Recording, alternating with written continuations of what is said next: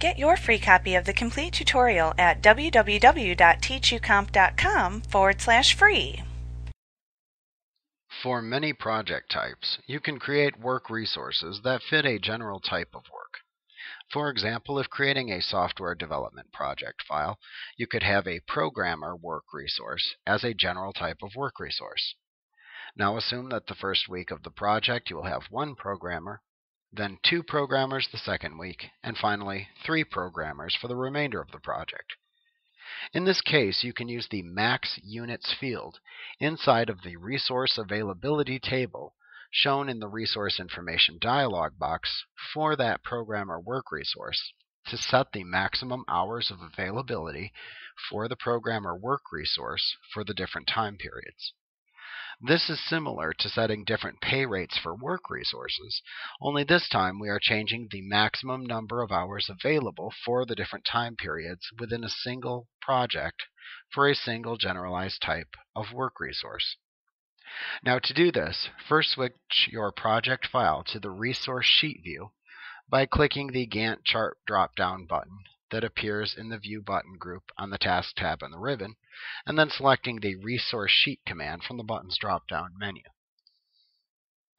Next, select the desired work resource whose resource availability you wish to change from the listing shown in the Resource Sheet view of your project file. Then click the Information button in the Properties group on the Resource tab in the ribbon in order to display the Resource Information dialog box. Next, use the Available From, Available To, and Units fields within the Resource Availability table on the General tab to set the dates and resource availability for the desired resource. So using the example given earlier, you would select the dates of the first week of your project and enter 100% availability for the units.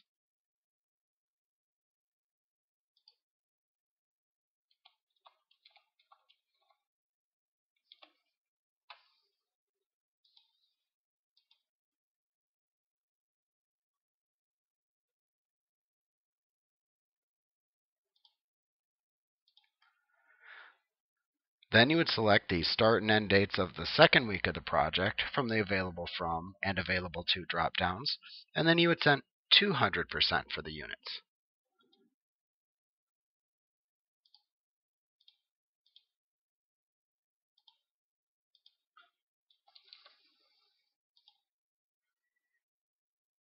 You would then repeat this step for the third week, selecting the desired effective date to start and setting the units to 300% for the remainder of the project.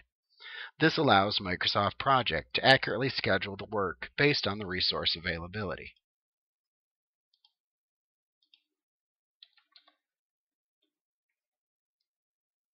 Now once you've finished setting your resource availability in this dialog box, Click the OK button to set the new availability rates.